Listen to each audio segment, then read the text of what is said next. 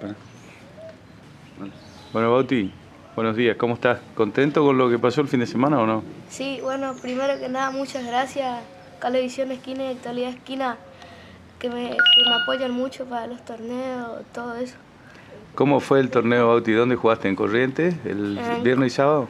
¿O sábado? no? Eh, viernes y sábado porque el viernes jugamos bien, pero a la noche empezó a llover y al otro día me dijeron, bueno, vamos a tratar de terminar todo hoy porque para el domingo está pronosticado lluvia. Ah, ¿cuántos partidos fueron, Bauti, durante el fin de semana? Fueron siete partidos. Upa, a un solo No, eh, cinco partidos fueron, sí. cinco partidos. Sí. ¿A cuántos sets se juega eso? Ah, primero era nueve games, pero a partir del sábado se, se empezaron a jugar a seis porque por la lluvia y no nos iba a dar tiempo. ¿Te acordás contra quién jugaste o no? ¿De Sí. qué ciudades son? Eh, el primer partido jugué contra uno de ahí de Corrientes Tennis Club. Gané eh, 9-3.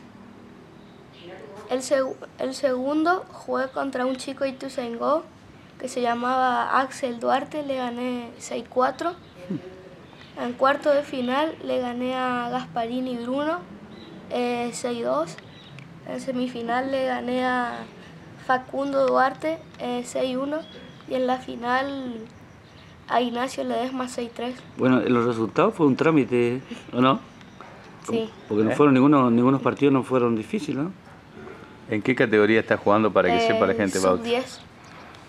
Y a partir de ahora, la novedad es que quedaste como número uno de la provincia. Sí, y con ese resultado me invitaron a participar del Nacional por Equipos de Sub 10 que se va a hacer en Olavarría.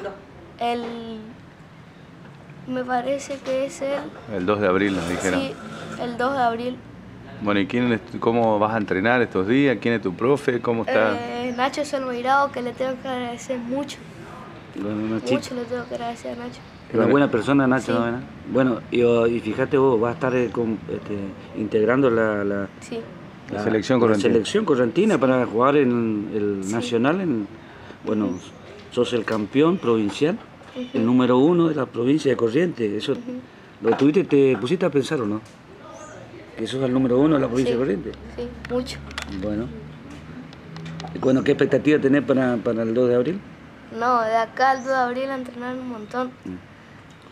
Nachito, entonces va- mucho trabajo tenés con vos, ¿no? Sí, Van a tener que hacer doble turno seguramente. ¿eh? sí. Porque vas a tener que pre- representar bien a la provincia.